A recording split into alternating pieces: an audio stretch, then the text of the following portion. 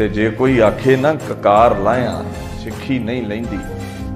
ਤੇ ਮੈਂ ਫਿਰ ਸਵਾਲ ਕਰਦਾ ਵੀ ਫਿਰ ਭਾਈ ਤਾਰੂ ਸਿੰਘ ਨੂੰ ਖੋਪੜ ਲਵਾਉਣ ਦੀ ਕੀ ਲੋੜ ਪਈ ਸੀ? ਕੇਸ ਵੀ ਤੇ ਕਕਾਰ ਨੇ ਕੇਸ ਕੱਟ ਲੈਣ ਦਿੰਦਾ, ਸਿੱਖੀ ਦੇ ਅੰਦਰ ਸੀ ਸਾਰਿਆਂ ਦੇ। ਭਾਈ ਤਾਰੂ ਸਿੰਘਾ ਜਵਾਨਾ ਖੋਪੜ ਖੋਪੜ ਲਵਾ ਦਵੇਂਗਾ ਜਾਨ ਜਾਵੇਗੀ। ਚਾਰ ਕੇਸ ਨੇ, ਕਟਵਾ ਦੇ, ਕੱਖ ਨਹੀਂ ਹੋਣ ਲੱਗਾ। ਭਾਈ ਤਾਰੂ ਸਿੰਘ ਕਹਿੰਦਾ, ਕਕਾਰਾਂ ਚੋਂ ਕਕਾਰ ਕੇਸ ਨਹੀਂ ਕੱਟਣ ਦੇਣੇ, ਖੋਪੜ ਲੈਂਦਾ ਤੇ ਲੈ ਜਾਵੇ।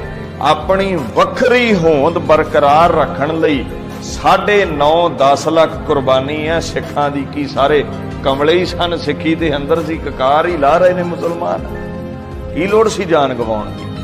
ਤੁਹਾਡੀ ਅਡਰੀ ਹੋਂਦ ਨੂੰ, ਵੱਖਰੀ ਹੋਂਦ ਨੂੰ ਖਤਮ ਕਰਨ ਲਈ ਦੁਹਾਈ ਪਾ ਰਹੇ ਨੇ। ਸਾਡਾ ਹੀ ਲਿਬਾਸ ਪਾ ਕੇ ਸਟੇਜਾਂ ਤੇ ਬਹਿ ਕੇ ਜੀ, ਸੁਖੀ ਦੇ ਅੰਦਰ ਕਾਰਾਂ ਦੀ ਕਾਦੀ ਸੁਖੀ